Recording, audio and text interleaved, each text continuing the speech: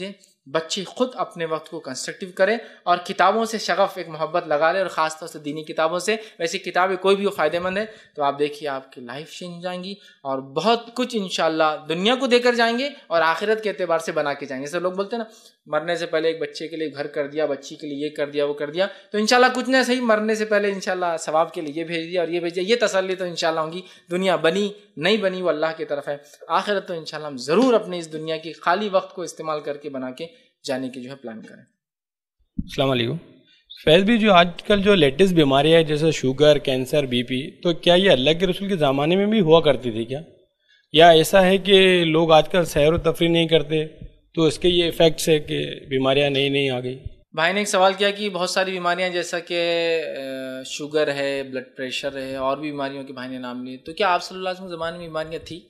या फिर आज के दौर में जो हमारा लाइफ है कि हम लोग सैर व तफरी या एक्सरसाइज कसरत या इस तरह की एक्टिविटीज़ नहीं करते, उसका नतीजा है। वल्ला आलम, ये बात तो हम नहीं कह सकते कि आप सल्लल्लाहु अलैहि वसल्लम के ज़माने में ये बीमारियाँ स्पेशली शुगर ब्लड प्रेशर थी या नहीं थी। इसलिए कि इन बीमारियों के आलाती ईजाद नहीं होते तो बीमारियाँ अगर होंगी भी तो हमको पता नहीं ये है। सिम्टम्स अगर होंगे भी तो पता नहीं। इस बात में तो अल्लाह आलम। लेकिन शुगर ज़्याबतीज़ जो है, ये अरबी नाम ही है। डायबिटीज़ जिसको बोलते हैं, शुगर, एक अरब मुस्लिम साइंसदान ने उसकी उसकी तहकीक की थी कि ये क्यों होता है। इंसान चक्कर खा जाता है, कभी वो होता है। ज़्याबतीज़ वो कहते हैं, किसी चीज़ के इजाफा हो जाना, उसको डायबिटीज़ इंग्लिश में बोलते हैं और शुगर आम जबान में कहते हैं। तो बहरहाल वल्लम हो सकता हो भी, ना हो, लेकिन आलात तो नहीं थे डिटेक्ट करे कि बीमारी है या नहीं।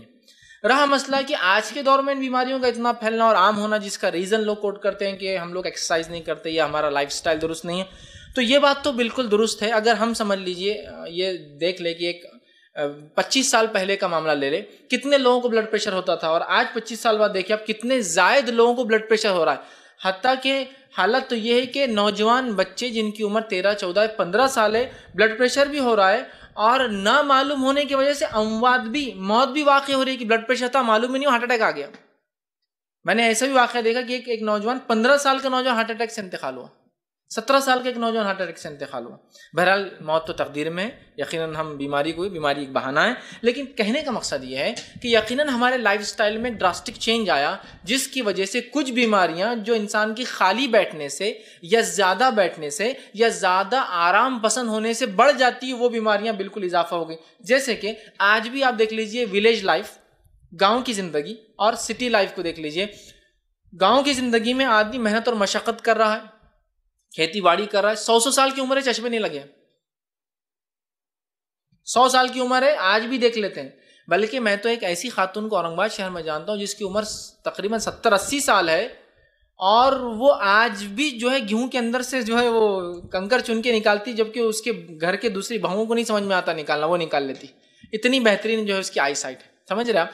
तो एक विलेज लाइफ देखिए, लोग आज भी जो है हालाँकि गजाइत के अतबार से प्रोटीन, जैसे उसको बोलते हैं ना, एक न्यूट्रिशियस जो है फ़ूड होना चाहिए, वो तो हमसे कम खाते हैं। बिल्कुल जवार की रोटी है, एक प्याज है, नमक है और कच्ची मिर्ची खा रहा है। क्या है न्यूट्रिशन है? ज़िंदगी में बेचारा ने कभी बादाम नहीं खाया। समझ रहे ना? हम लोग तो डाइट में हर चीज़ ले रहे ये खाओ, इससे ये फ़ायदा, संतरे का जूस पियो, कीवी खा लो, ये सब कर रहे हैं। फिर भी बीमारी कब हाल और वो बेचारा सिर्फ़ रोटी खा रहा है, उसकी सेहत देखी। तो पता ही चला, इंसान को अल्लाह ने एक मशक्कत वाला जिसम दिया है। जब ये काम करता है तो ये अच्छा रहता है। इसकी मिसाल मैं देता हूँ गाड़ी के टायर से। टायर अगर चले तो लाख किलोमीटर चलता है और गाड़ी खड़े तो दो महीने में कट जाता है। गाड़ी के टायर अगर हवा वाले हैं आपके, समझ रहे और अगर वो चलता है तो वन लाख किलोमीटर तक उसकी लाइफ होती है, जो चार पाँच साल कभी कभार हो जाता है। कुछ गाड़ियाँ ज़्यादा चले, दो साल में होता है।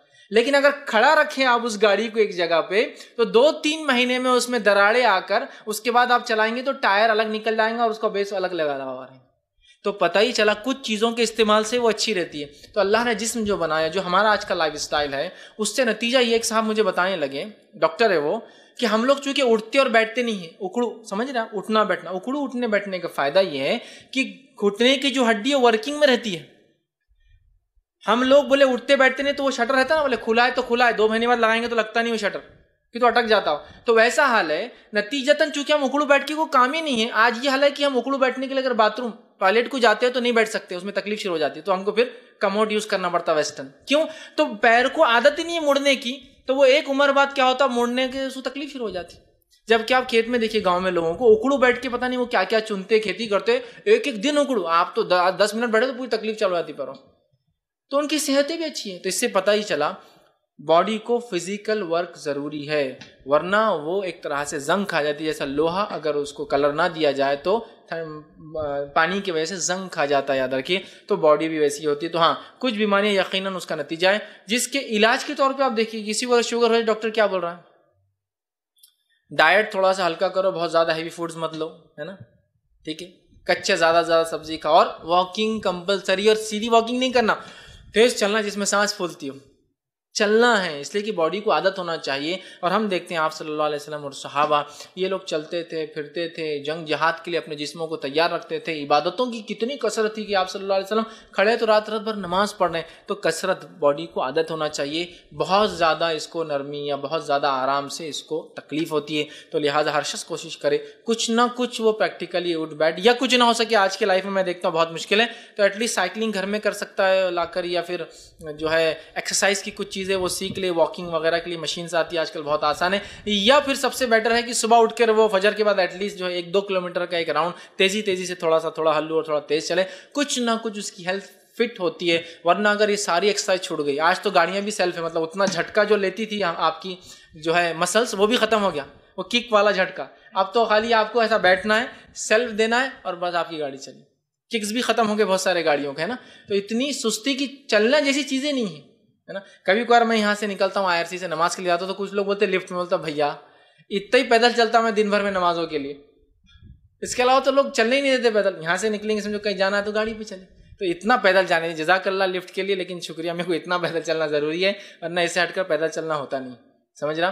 तो ये बड़ी अहम चीज़ है। तो हमारा लाइफ स्टाइल कहीं ना कहीं जिम्मेदार है इन बीमारियों के लिए ख़ास तौर से जिसको शुगर या बीपी या बहुत सारी बीमारियाँ जो आजकल हैं, कोशिश हम करें कि हम नमाजें तो पढ़ते, देखिए मुसलमान जो नमाज़ पढ़ता है तो बहुत सारी बीमारियों से वैसे ही बच जाता है। इसके बहुत से तिब्बी फ़ायदे हैं, बिलखसूस रुकू और सजूद के।